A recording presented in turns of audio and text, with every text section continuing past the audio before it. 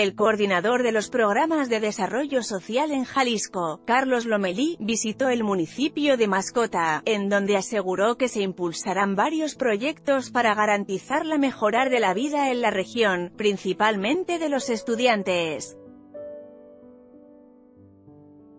A través de redes sociales, Carlos Lomelí mencionó que el presidente de México, Andrés Manuel López Obrador, AMLO, creará 100 universidades en la República Mexicana que cuenten con las carreras de agroeconomía, medio ambiente y cuidado de la fauna, de las cuales tres estarán en Jalisco.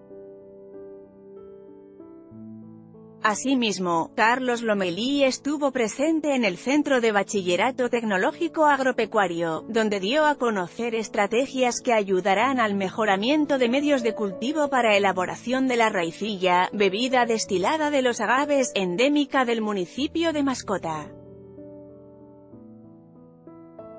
Incluso, Lomelí aseguró que será padrino de la siguiente generación de estudiantes, lo que les brindará la oportunidad de tener mejores servicios en los laboratorios y viveros dedicados a la destilación de la bebida de mascota.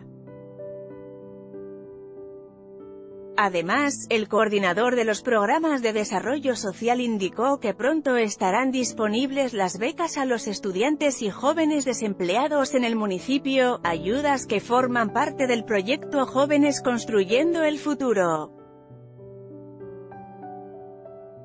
Finalmente, Carlos Lomelí compartió que después de su estancia en el bachillerato tuvo una reunión con los profesores de la institución, con el fin de diseñar una agenda de trabajo en conjunto, así como conocer las necesidades de los catedráticos para dárselas a conocer a MLO.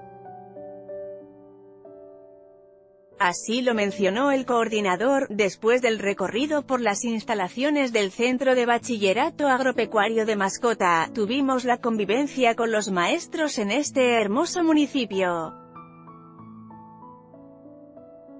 Con información de Facebook arroba de RCARLO Eslomeli y La Neta Noticias. Fotografía ilustrativa, especial, tomadas de Flickr arroba DR barra baja Carlos Lomeli. Anímate a comentar. Queremos saber tu opinión. Comentarios Powered by Facebook Comments.